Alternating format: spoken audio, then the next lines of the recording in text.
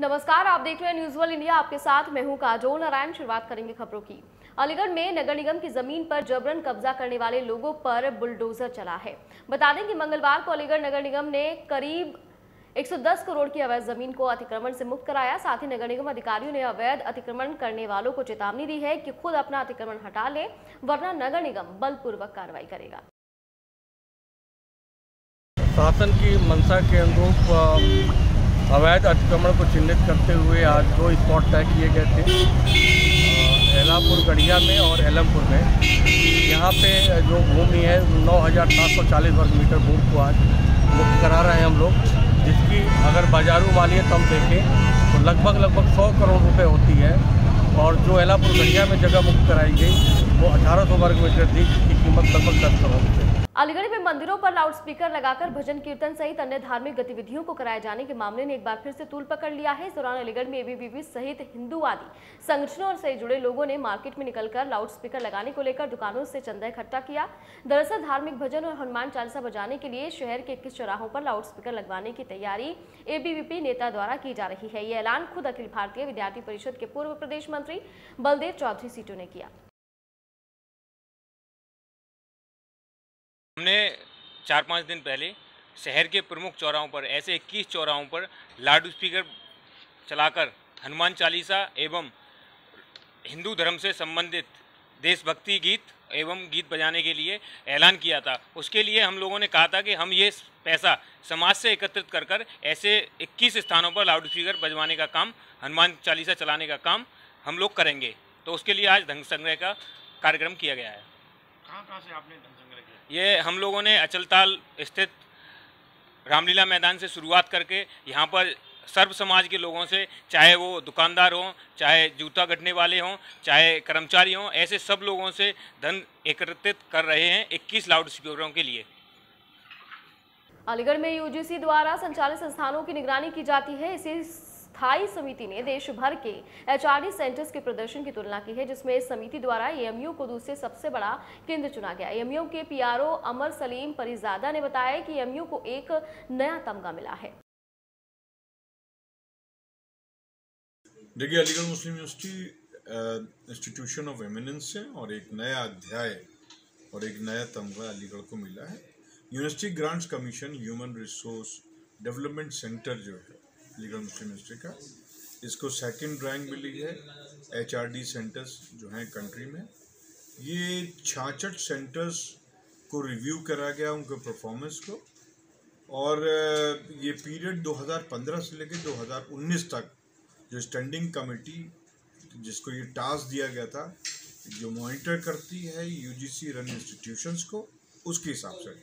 यहाँ बताते चले जो आई मीन पहले पायदान में जो केरला यूनिवर्सिटी जो है, उससे सिर्फ़ zero point zero two points जो है, वो हम ट्रेल करते थे, जो स्कोर है टोटल फोर पॉइंट फाइव जिसे आप कह सकते हैं क्वांटिटेटिव और क्वालिटेटिव पैरामीटर्स में जो जो इनका अपना एक मापदंड होता है, उसके बेसिस पे।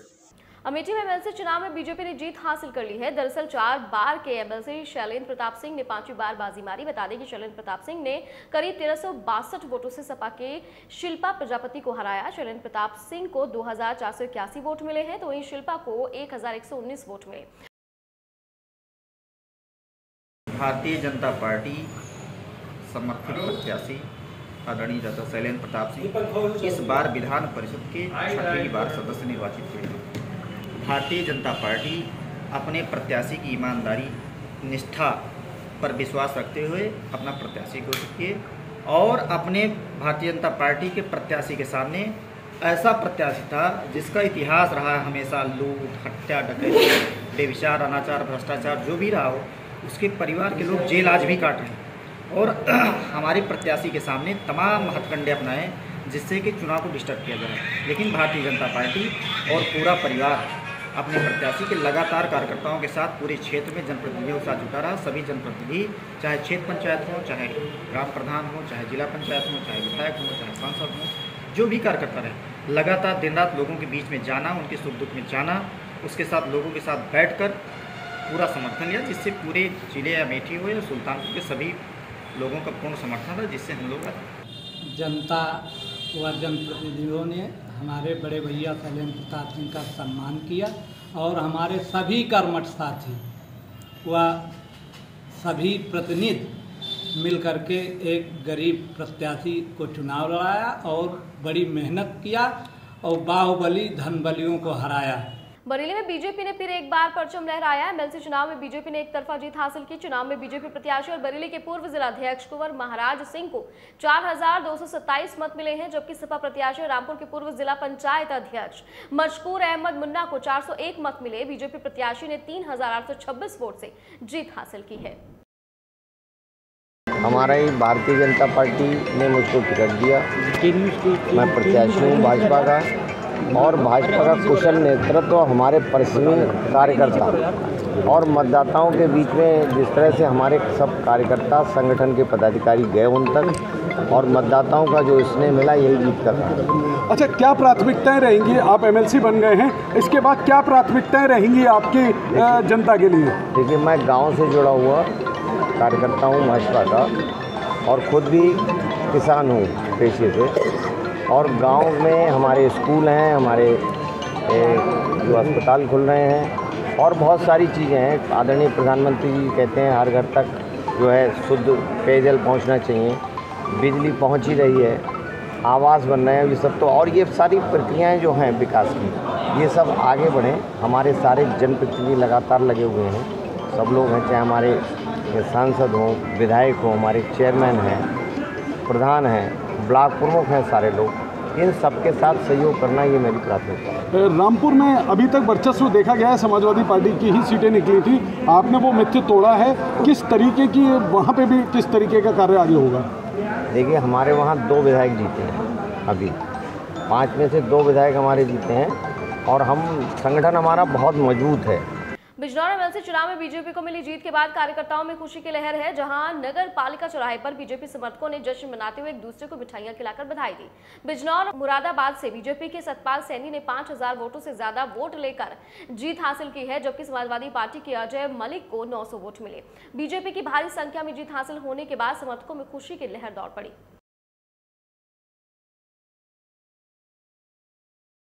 आज स्थानीय निकाय के चुनाव में ऐतिहासिक जीत हुई है। भारतीय जनता पार्टी के सभी प्रत्याशियों में आज उसके पर्पज में नगर अध्यक्ष जी के नेतृत्व में संजीव गुप्ता जी के नेतृत्व में यहाँ सब इकट्ठा हुए और मिठाई वितरण का कार्यक्रम का- कराया गया है। और इसमें 36 में जो प्रचंड जीत मिली है हमें 33 सीटों की ऐतिहासिक जीत के लिए हम सभी कार्यकर्ताओं ने खुशी और उल्लास का माहौल सहारनपुर स्थानीय पदाधिकारी निर्वाचन क्षेत्र कर विधान परिषद सदस्य चुनाव में भाजपा के वंदना वर्मा ने जीत हासिल कर ली है तो वहीं विपक्ष एक हज़ार का आंकड़ा भी पार नहीं कर पाया। वहीं पत्रकारों से बातचीत के दौरान वंदना वर्मा ने कहा कि हमारी जीत हमारे शीर्ष नेतृत्व योगी जी और मोदी जी की मेहनत का परिणाम है।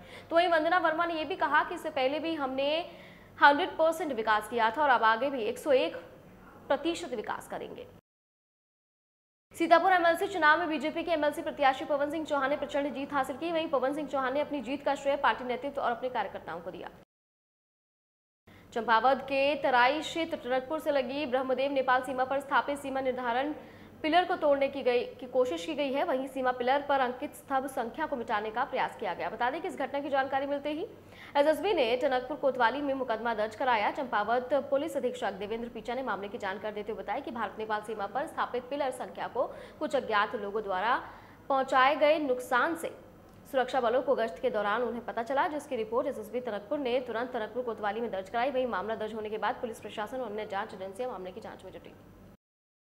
एक जानकारी मिली थी कि जो इंडो नेपाल बॉर्डर पे जो एक पिलर था, उसमें कुछ हल्की खरोंच उरोंच करके कुछ उसको बिगाड़ने का स्वरूप बिगाड़ने का प्रयास किया, जिसकी एक एप्लीकेशन मिली, जिसकी हमारे द्वारा भी जाँच की जा रही है कि ये कौन लोग हो सकते हैं, किस तरह से उन्होंने की है। बाकी इसकी इन्फॉर्मेशन आगे भी बता दी गई है, ताकि उसको जो प्रॉपर रिपेयरिंग या जो ठीक होना हो, वो काम हो सके।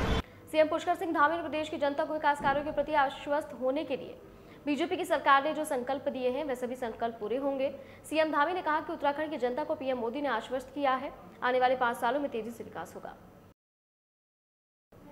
हरदोई के पाली थाना क्षेत्र के गर्रा पुल के पास दो बाइक की आमने सामने की टक्कर हो गई। इस हादसे में एक मासूम बच्चे समेत दो लोगों की मौत हो गई, जबकि चार लोग गंभीर रूप से घायल हो गए, जिन्हें इलाज के लिए अस्पताल में भर्ती कराया गया। थाना पाली क्षेत्र में गर्रा नदी पुल शाहबाग रोड पर दो बाइकों में आमने सामने टक्कर हो गई, जिसमें एक बच्चा, उम्र लगभग एक साल, और तथा एक व्यक्ति जो अभिषेक, दोनों पाली क्षेत्र के रहने वाले हैं। उनकी डेथ हो गई है, और बाकी जो चार लोग घायल हैं, उनको जिला अस्पताल भेजा गया है। पुलिस अन्य पहलुओं की जाँच कर रही है। लखनऊ में डीजी शक्ति योजना के अंतर्गत स्मार्टफ़ोन और टैबलेट वितरण समारोह का आयोजन किया गया, जहाँ उच्च शिक्षा मंत्री योगेंद्र उपाध्याय ने दीप प्रज्वलित कर कार्यक्रम का शुरुआत की।